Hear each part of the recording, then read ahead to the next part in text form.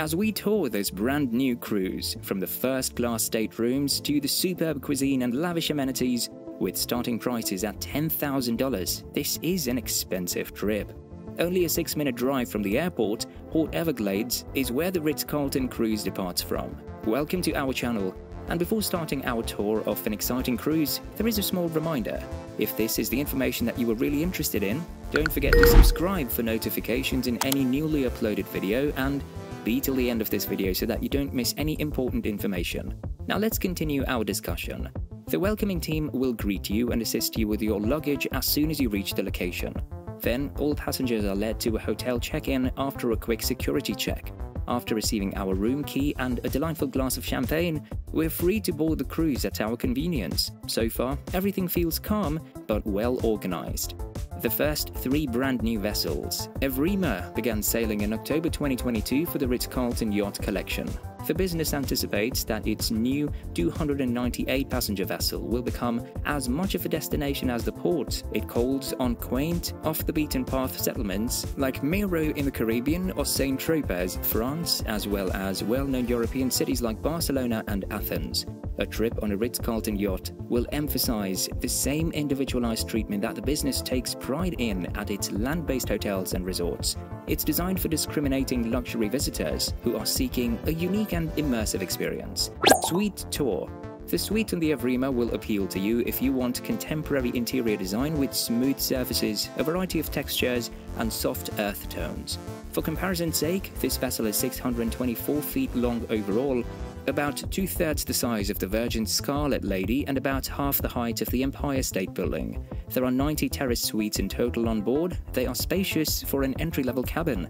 Tillberg Design of Sweden was commissioned by the line to design its cabins. The emphasis is on pleasant open concept areas and natural light, offering a private vessel vibe reminiscent of the Ritz-Carlton residences in Florida's Sunny Isles Beach and Miami Beach, as well as Los Angeles.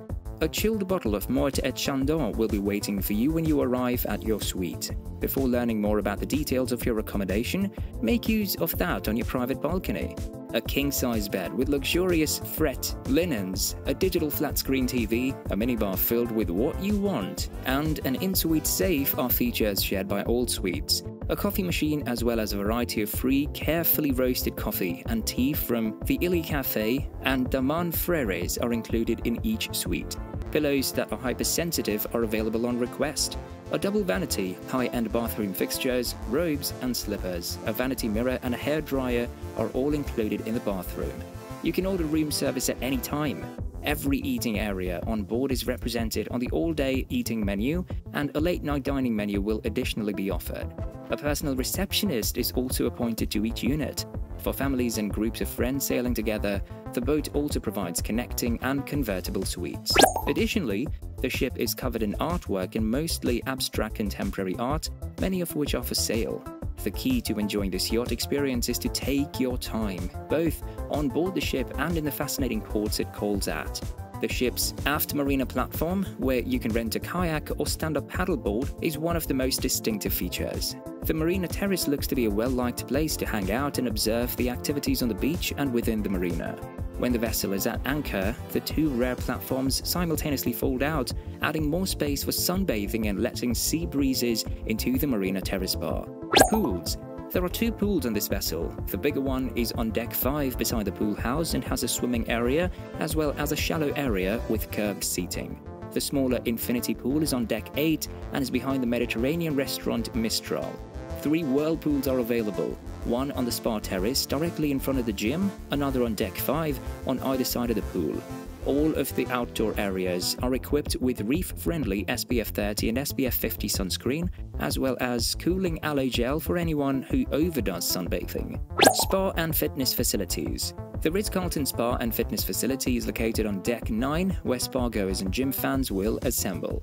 The facility has separate changing areas for men and women, indoor and outdoor spa treatment rooms, a relaxation lounge, as well as a women's salon and a men's barber.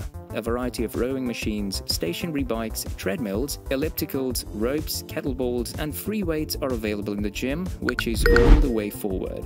There are classes held every day in the fitness center. You can rent out the studio for some light-hearted fun and work out with pals using one of 1500 video programs available on demand. You can register for private yoga classes and personal training sessions, including fitness consultations, along with the exercise equipment. Dining establishments and restaurants. At full capacity, the boats can only accommodate 298 passengers, but there are a number of distinctive dining options, including SEA, which was created by chef Sven Elverfeld of the three Michelin starred Aqua restaurant in the Ritz Carlton, Wolfsburg in Germany. All restaurants use fresh, regional products and provide food inspired by the places the boat travels. Evrima Room. The Evrima Room is the ship's primary restaurant, despite the fact that Ritz yachts won't have main dining rooms like you're used to seeing them aboard megaship's huge, cavernous spaces that pack everyone in closely during meal service. You can have a romantic meal here as a couple or join other guests in a welcoming atmosphere. The restaurant is on deck 4 to the rear and the seasonal menu will be available. Living room. Coffee drinkers plus snackers should commit to the living room on deck 4 to mind. You can hang out there or just relax in the plush chairs and read a book from the library. You can pick up pastries and other delicacies all day and night long, as well as freshly roasted coffee as well as espresso. The bar. There's a good chance that you'll visit the bar frequently, enjoy a special cocktail or champagne toast to start each night of your journey, and stop by for a nightcap after dinner. Are you seeking for something opulent? In this lounge, high-end champagne are served with caviar. Sports and entertainment. Naturally, existence on a yacht is a little more relaxed than it is on megaships with dozens of bars, a comedy club, Broadway-style shows, karaoke, casino games and other amenities. Shows and theatres. There is live music available, even though there is no theatre aboard the ship. According to early accounts from travellers, evenings have been relatively quiet so far. Alcoholic beverages, onboard tips, Wi Fi, all but one of the ship's eateries, and the whole cruise fee are all included. This puts the ship on the path with other yacht cruises like the Scenic and SeaDream Yacht Club. A humidor, a cigar bar, can be found on most opulent ships, and Evrima is no exception premium cognac is offered along with hand-rolled cigars at the Humidor on Deck 10. This boutique. The boutique is located on Deck 4, however, Evrima doesn't have a true mall in the same vein as Royal Caribbean's Royal Promenade. Leading premium brands and artwork created by regional artisans are promised by the line. Observation Terrace. On Deck 10, directly in front of the Observation Lounge, lies the Observation Terrace. You may get a bird's eye view of the ship from this vantage point. There are numerous cozy seating spots where you can get a drink and connect with people you've never met. Laundry.